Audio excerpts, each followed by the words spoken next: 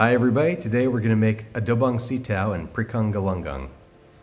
Here's what the adobo sitaw is going to look like and the pritong galunggong. We start with tomatoes, onions, pork, and the sitaw. There's the galunggong. We're going to saute the onions. There's the oil. I've been told they're called sibuyas in Tagalog.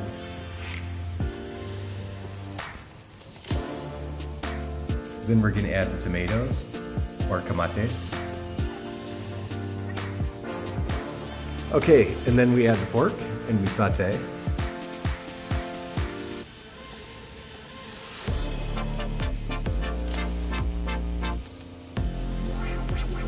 We add Knorr cubes and we mix it in there. We're adding black pepper, salt, and Magic Sarap, and we mix it all together. We add oyster sauce.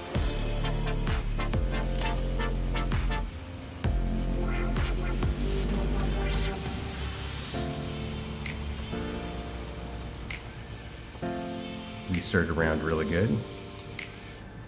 Now we're gonna let it sit and simmer for five to 10 minutes.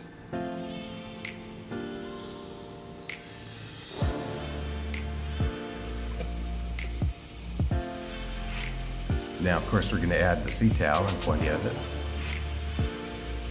The important here, my wife edited it out, but you have to mix it up really good. Now we're letting it boil.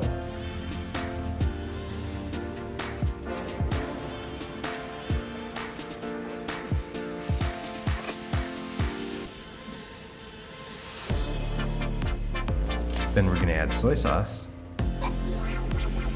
And we add some vinegar. Mix it all around again. My wife is adding hot water. And now we sit and let it boil some more.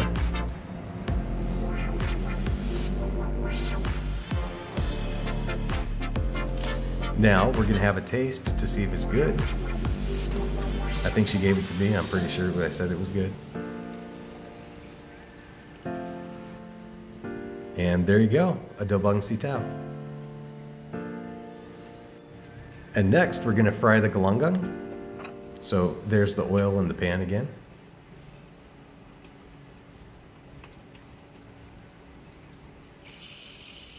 And there's the galunggong. They have to be gutted and cleaned first. My wife has cuts put into them to help them fry better.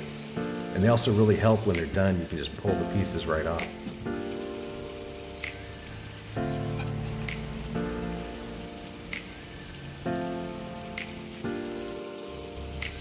And we're gonna wait until they're nice and cooked on one side. And we're gonna flip them in just a moment.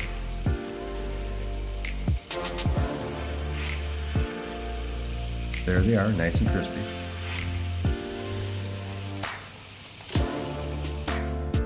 And there they are. And they were masarap. Thank you for watching.